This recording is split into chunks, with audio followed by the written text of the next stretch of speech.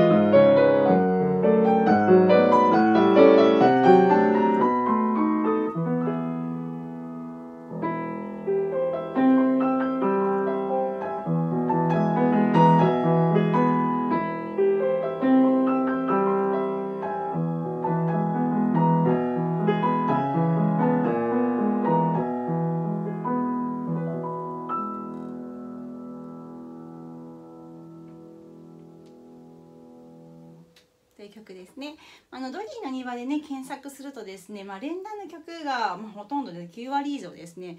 まあ、のヒットすると思うんですね。まあ、ソロの曲っていうのは、まあ、ほとんど、まあ、動画でねアップされてないと思うんですけれども、まあ、連弾で有名な曲なんですね。で、まあ、の同じねドビッシーの今までお話ししていたドビッシーのと大体同年期にね活躍した方なんですけれども結構このあの曲の思考が違いますね、えー、ドビッシーはその印象派のあの絵をね以前にお見せいたしましたけれどもああいったねこう色彩豊かな感じをですね、まあ、音に表現しましたが、まあ、そこまでの色彩感はないですね、まあ、どちらかというとそのメロディー性が強くて、まあ、ロマンティックなね曲の中に、まあ、その、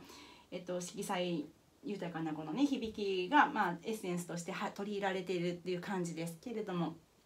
えフォーレという方はですね、まあ、サロンの人というふうに言われたりすることもあってですね、まあ、サロンで、まあ、非常にこの、えっと、曲がですね、まあ、人気を博したそうなんですね。でもまああのサロン音楽とね言うと、まあ、ショパンとこうつながりますけれども非常にこう人の心にこうスーッと入ってくる、まあ、優しい素敵なね、まあ、ロマンチックないい曲をねたくさん書いていますのでまた折を見てねあの彼の作品を弾いてみたいなというふうに思います。今日もご視聴ありがとうございました。